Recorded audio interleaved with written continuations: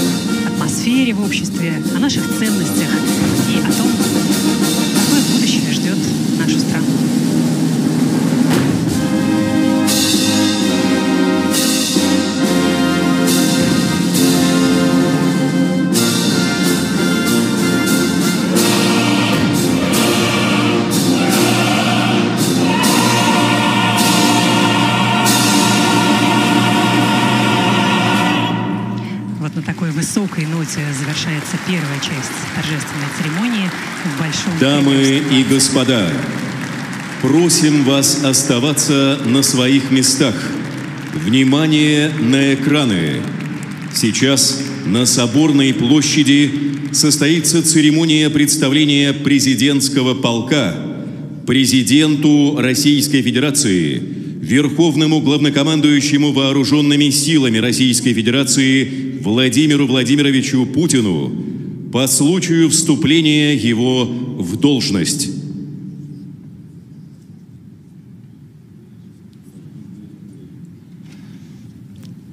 Ну и сейчас еще мы видим внутреннее убранство Большого Кремлевского дворца, его залы Георгиевский, Андреевский зал и Александровский, где собрались гости.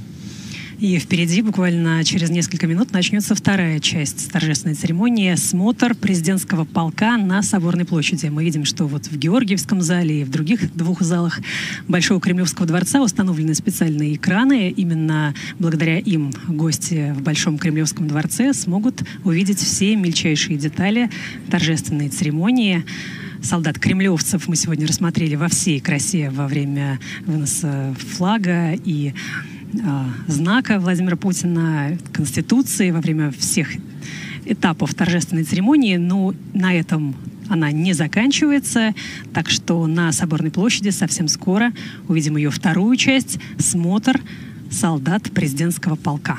Да, мы видим гостей церемонии, мы видели э, председателя правительства Михаила Владимировича Мишустина и заместителя председателя Совета Безопасности Дмитрия Анатольевича Медведева. А сейчас видим Соборную площадь Кремля. Именно здесь произойдет церемония представления президентского полка, вступившему в должность верховному главнокомандующему, которая, по сути, венчает инаугурацию главы государства. Ну вот и снова гости торжественной церемонии Дмитрий Медведев, Михаил Мишустин.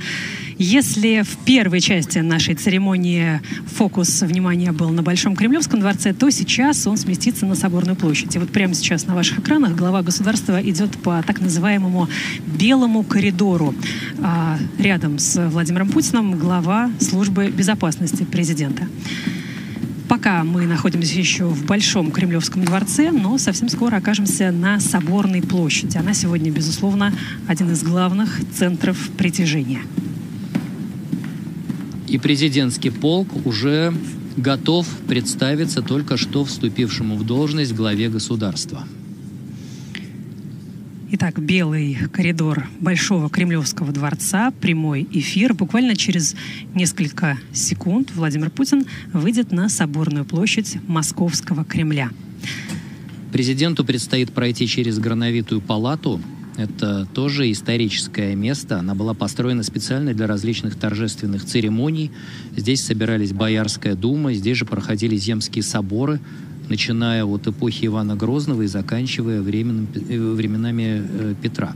Э, в залах палаты устраивались празднества в честь взятия Казани и победы над шведами под Полтавой. И, разумеется, пиры по случаю коронации российских государей бывали здесь же. В советские годы палата также использовалась для разных протокольных мероприятий.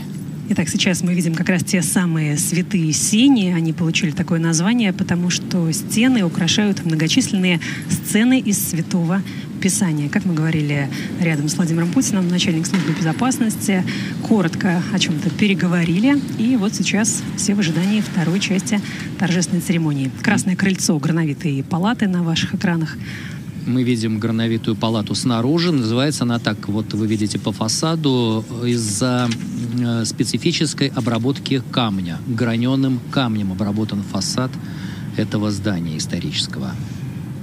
Но вообще еще в середине 15 века Грановитая палата стала своеобразным аудиенц-залом, необходимым для повышения статуса русской столицы. Просторная, площадью около 500 квадратных метров, она стала первым большим построенным в европейском стиле зданием Московского Кремля. Свою историческую функцию она выполняет уже более пяти сотен лет. Ну и сейчас входит в комплекс Большого Кремлевского дворца, который, как все знают, является правительственной резиденцией президента. Здесь проходят встречи зарубежных лидеров, церемонии награждения и другие события особой значимости. К смотру президентского полка все готово. Снова на ваших экранах та самая лестница, знаменитая «Святые синие», «Красное крыльцо»,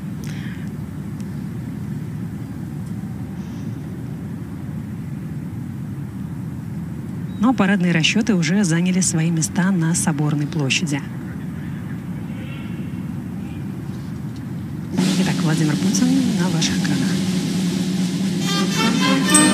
Президент спускается по ступеням Красного крыльца, чтобы принять смотр президентского полка.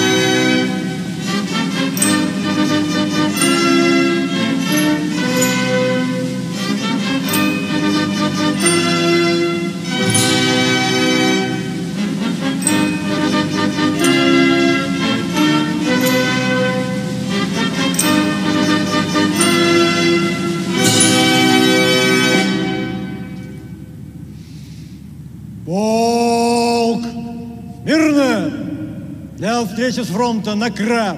Ху!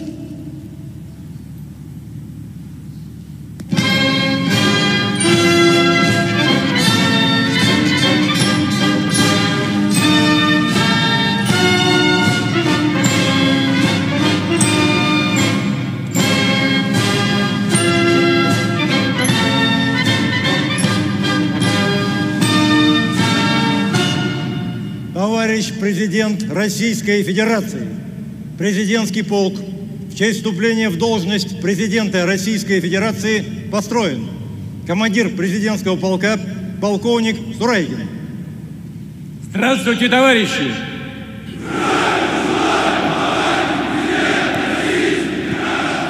Поздравляю вас с 88-й годовщиной со дня образования полка.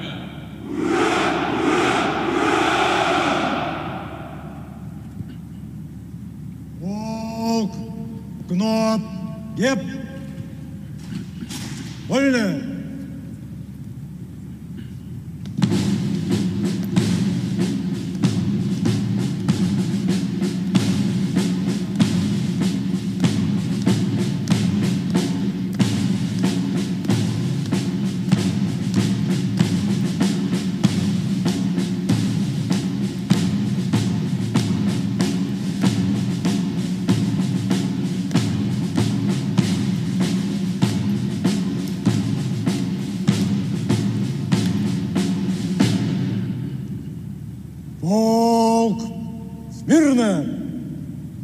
Торжественному маршу!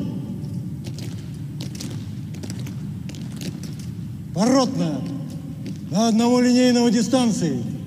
Направ! Оп! Наплеп! Чоп! Равнее направо! Шагом! Марш!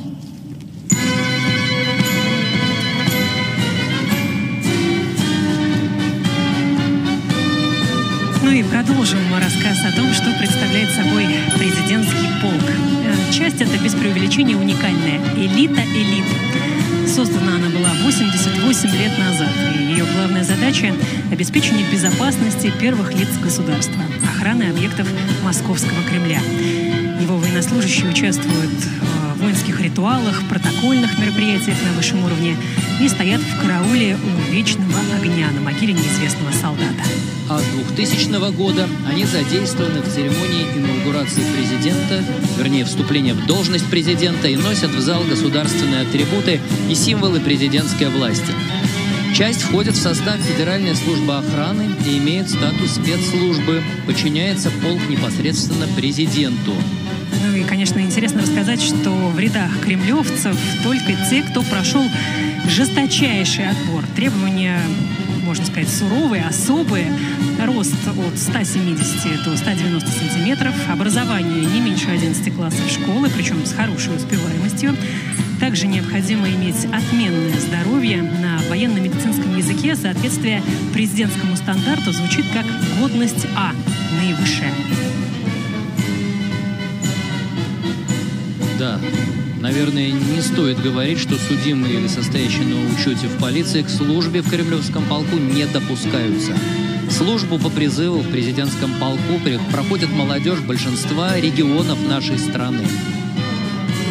Ну интересная деталь. Солдаты президентского полка наряду с уставами учат наизусть и башни Московского Кремля.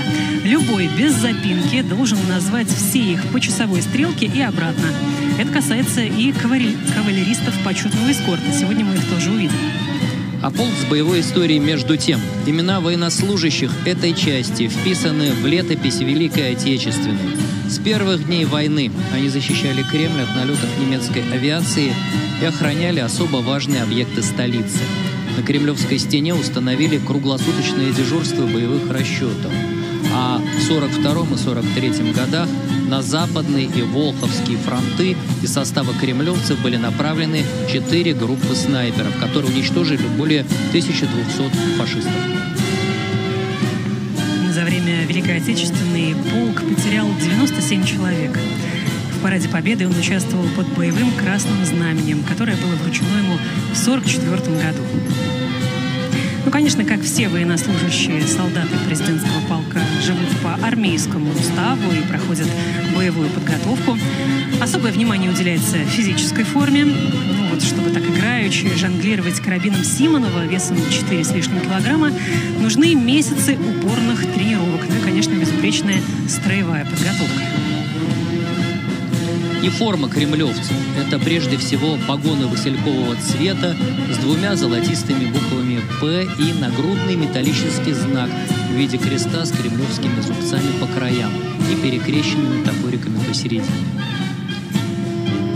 Ну и, конечно, все задачи кремлевцы выполняют в любую погоду. Посмотрите, какая выдержка, какая стать. Ни один мускул не дрогнул. Это несмотря на то, что в Москве сегодня прям-таки зимняя температура. Владимир Путин вступил в должность президента Российской Федерации. Действительно, национальный лидер, наш национальный лидер пришел к финалу этих выборов с беспрецедентным результатом, историческим результатом. Новейшая история не помнит таких результатов. Это закономерно, потому что Россия сейчас переживает важнейший переломный момент в истории, причем не только своей, но и всего человечества. На кону наше будущее, будущее наших детей. Мы прекрасно понимаем, какая нагрузка и какая ответственность лежит на нашем национальном лидере, на нашем верховном главнокомандующем и на каждом из нас. Именно поэтому рекордная явка и более 80% поддержки, 87% поддержки.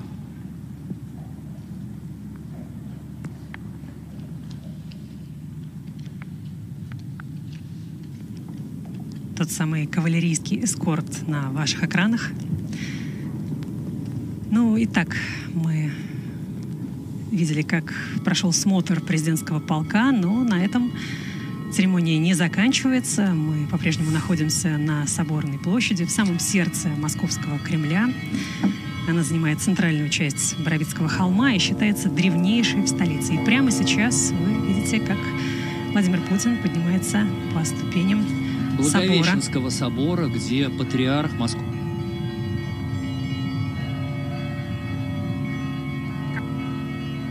Дамы и господа, торжественная церемония завершена. Спасибо за внимание. Итак, сейчас патриарх отслужит благодарственный молебен. Мы оставляем президента в храме.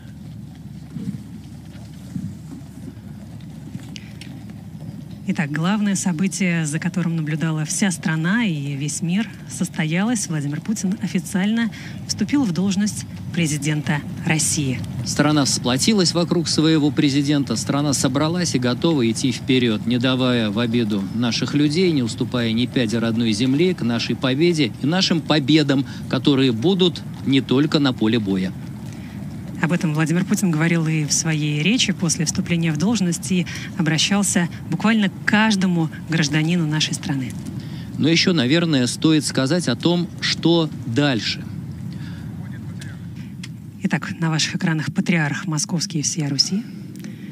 Невероятно красивое внутреннее убранство. Итак, благодарственный молебен.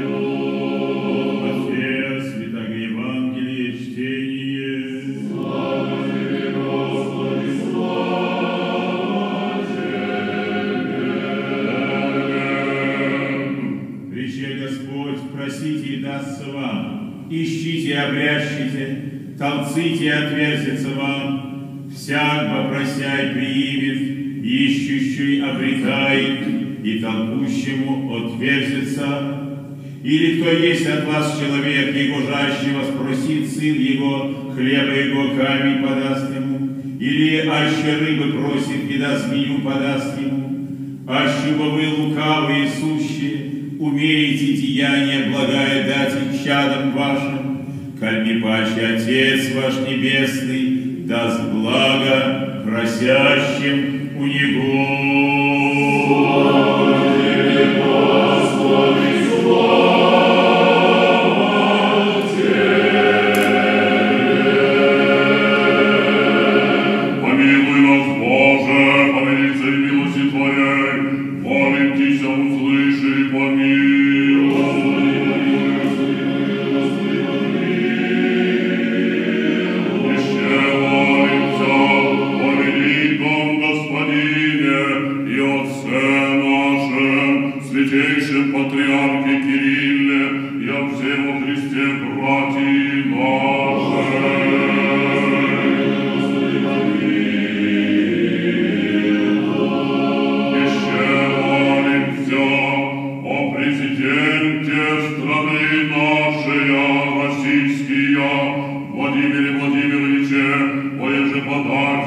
нельзя, правление э,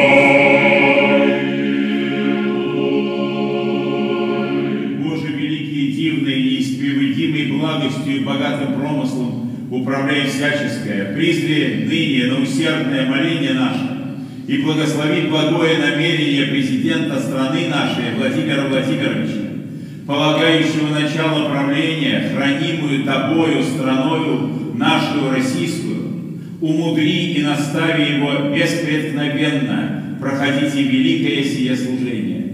Подашь ему разумение и премудрость, воеже в тишине и без печали люди российские сохраняйте. Подчиненные же ему управляйте на путь истины и правды, и от лицеприятия им стоимство отражать. Умножить дни жизни его в нерушимом здравии и благополучии. Подашь ему и всем нам во все дни правления его тихое и безмолвное житие и всяко временной и вечной кончине потребное.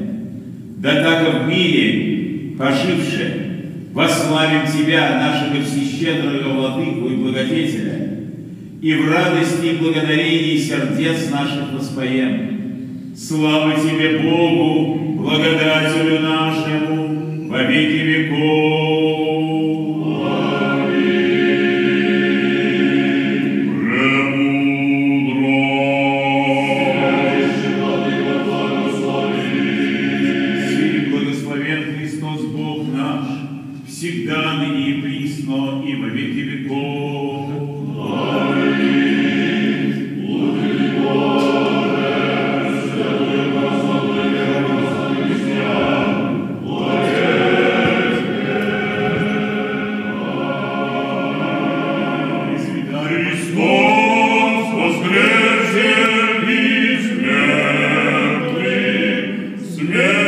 Dios mio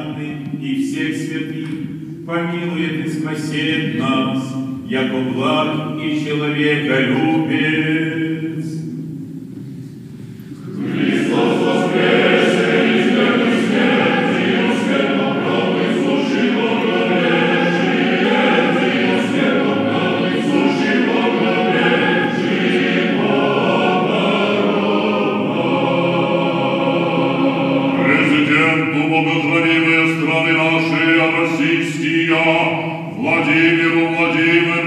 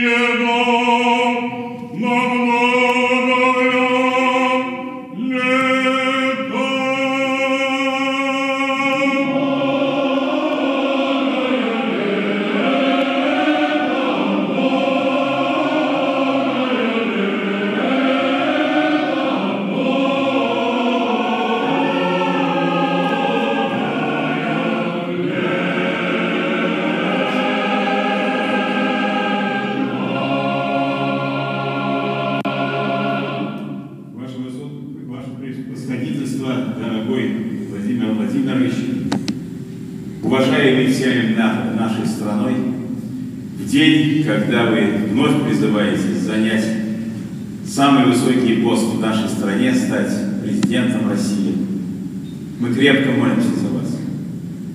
Мы знаем, что эти слова для вас не пустой звук, что вы сами молитесь.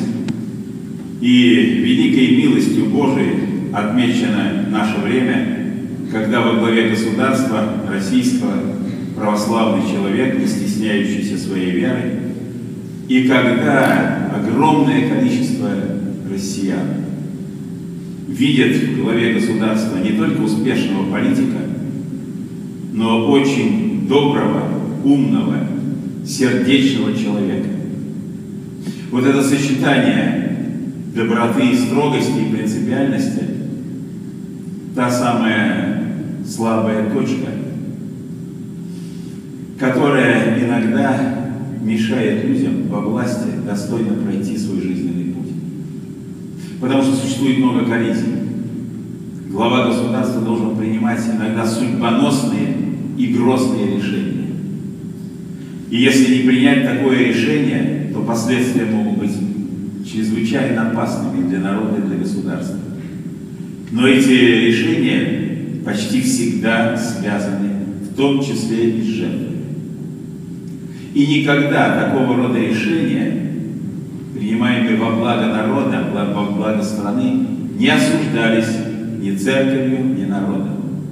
И мы знаем, как много святых угодников Божьих, которые возглавляли наше государство и которые на поле брани мужественно защищали свой народ. Ну, достаточно вспомнить святаго благоверного князя Александра Невского, близкого и для вас, и для меня, потому что мы оба Санкт-Петербурга. Не жалел врагов этот человек, но прославился как святой. Потому что одно дело защищать страну от врага, а другое дело крушить направо и налево, вымещая свои фобии или устремляясь к каким-то карьерным интересам. Прислужение президента, оно важно еще и потому, что хочет глава государства и того или нет, но с него берут пример. Он становится действительно примером для молодежи, для военнослужащих, для, для интеллигенции, для рабочих, да, в общем-то, для всех, кто серьезно думает о самом себе и о, о своей роли в жизни страны. Вы являетесь такой добрый пример.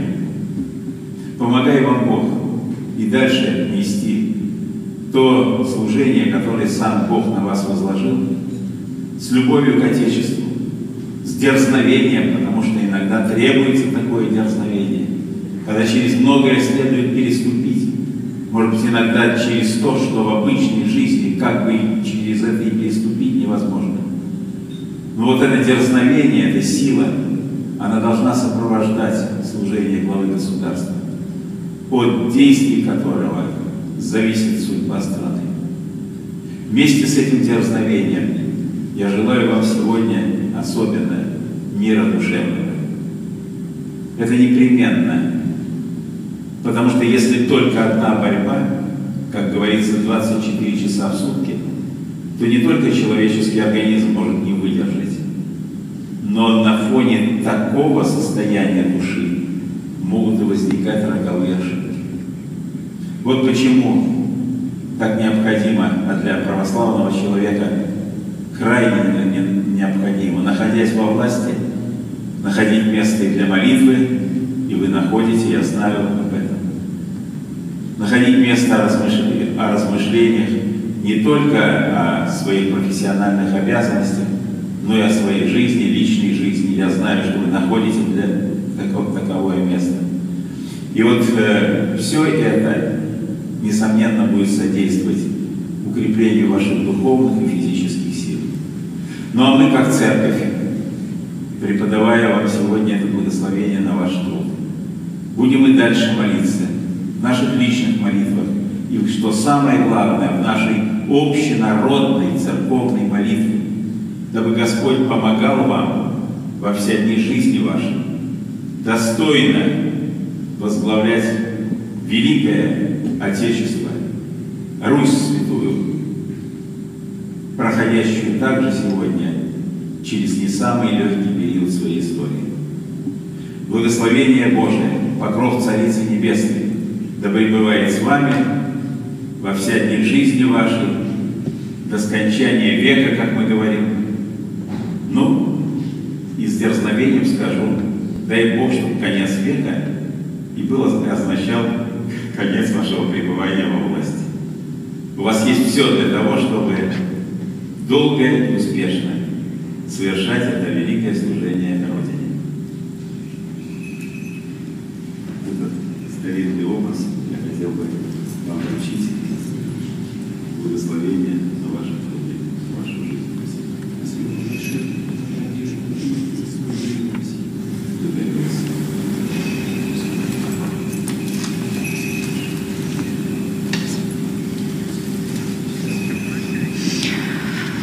Итак, в Благовещенском соборе патриарх Московский вся Руси дал свое патриаршее и человеческое напутствие Владимиру Путину после его избрания на пост президента. И, наверное, это был самый сакральный, личный момент э, сегодняшней церемонии. Мы благодарим всех наших зрителей. Спасибо, что разделили с нами это время, были с нами во время трансляции.